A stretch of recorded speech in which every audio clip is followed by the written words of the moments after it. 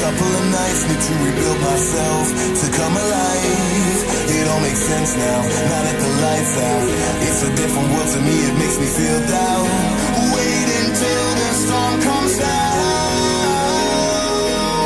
until the sleep comes and makes it all.